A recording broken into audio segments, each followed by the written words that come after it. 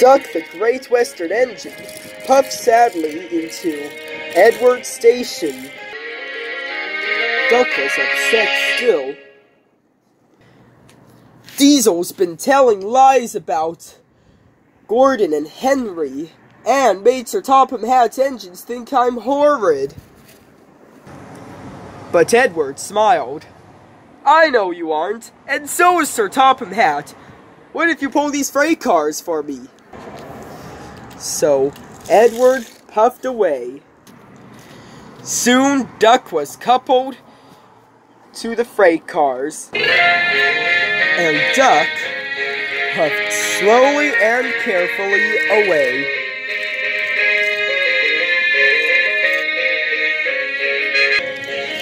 Duck was impressed. He didn't mind the heavy train at all. Duck was humming a little tune.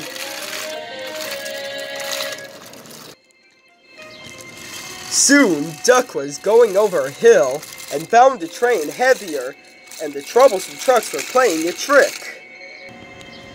Let's push him! Let's push him! said the cars. And let's get back at Duck for telling stories. Suddenly, Duck was speeding out of control, and the freight cars pushed him on and on. On, on, faster, faster, said the cars. I can't stop, I can't stop, yelled Duck. Duck went past the station where James was taking on passengers. Slow down, said James. I can't, cried Duck. The cars are still pushing me. On, on, on, said the freight cars. As fast as we can. You can't catch us. We're the gingerbread train. Good grief, said Duck's driver. What is this? Gordon, the big engine, was puffing slowly on the express train. Any minute, there could be a crash. Now is your chance, Duck, said the driver. But Duck was sent into the siding. I can't stop, he groaned. He was diverted into the siding, and the engine shed was just ahead. Duck's driver applied the brakes, but it was too late.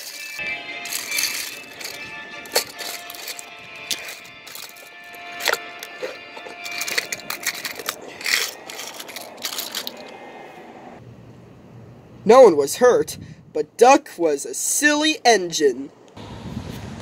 The first two of Duck's freight cars were all to pieces, and the tar in the tanker was splattered everywhere, and one of the freight cars was laughing. I'm sorry, sir, said Duck from under the shed. It's really my fault.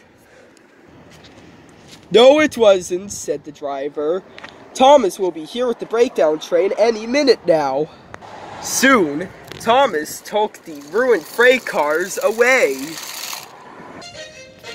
Duck was going so fast, sir, said Duck's driver. I tried to stop him, but his brakes wouldn't work. I understand, said Sir Topham Hatt. Never mind, Duck. We're gonna get you out of here. Thank you, sir, said Duck. So Thomas decided to pull Duck from out of the shed. And Sir Topham Hatt had more news for Duck.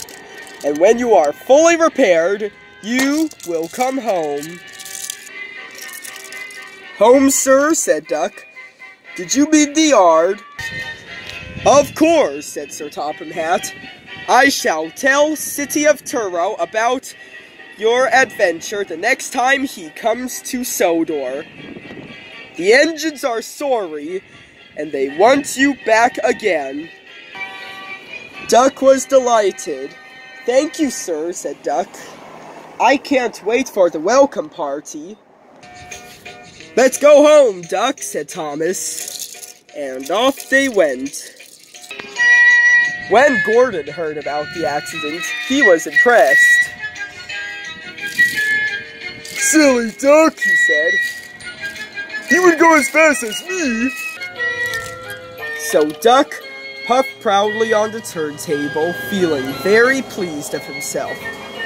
And at Tidmouth Sheds, there was a really drowsing welcome for Duck, the Great Western Engine.